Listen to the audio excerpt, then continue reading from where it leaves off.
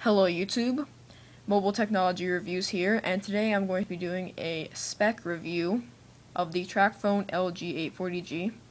Um, so in this review, I'm going to be looking at this phone from a technical standpoint, and I'm going to tell you guys about the uh, specs.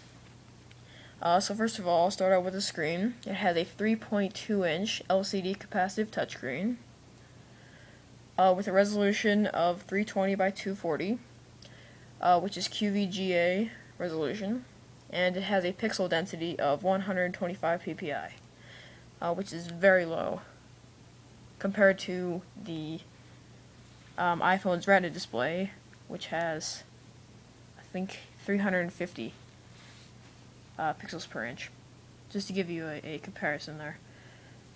Um, internal storage on this is 50 megabytes. Um, and it has 128 megabytes ROM and 64 megabytes RAM. Um, so not much, but it does support uh, micro SD cards up to 16 gigabytes. Um, don't quote me on that because it might support uh, 32 gigabytes, um, but I haven't found any solid information uh, that tells me. Um, it has a 2 megapixel uh, camera um, no LED flash, and it's a fixed focus lens. Um, video recording is QVGA, which is 320 by 240, um, at 30 frames per second. Um, the phone is Wi-Fi and 3G capable. Hold on, wait for my little Wi-Fi icon to pair. There we go. So that is connected to Wi-Fi. And right up here, the status bar will say 3G when I'm in an area that has uh, 3G. Um, this phone does run a proprietary Java operating system, which is very similar to the LG 800G's operating system. Um, both operating systems resemble Android with the home screens and the uh, app drawer so to speak. Um, this phone does support um, Java games and apps. Um, but this phone does not have a built-in application store. Um, it's not like iOS or Android, which have the App Store and the Play Store.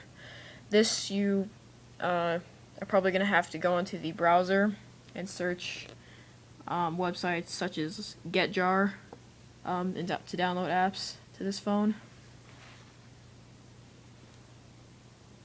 Um, this uh, has a 1000 milliamp hour battery, which I'll see if I can show you guys by taking off the back cover. There it is. It's a pretty big battery, 3.7 volt, 1000 milliamp hour battery. And here is the... Oh, whoopsies. Just called someone. Uh, sorry about that. Um, this is the micro SD card slot right here. You slide it in and out of there, and there's the camera. Um, the dimensions on this phone are 4 inches um, by 2.5 inches by 0.5 inches thick. Um, so it's a fairly thick phone. It's not huge. Um, it's a lot thinner than the 800G.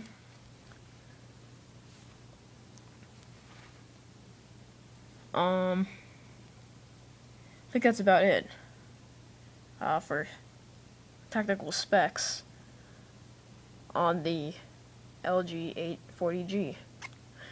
Um, so thanks for watching, guys, and be sure to like and subscribe. Uh, see ya.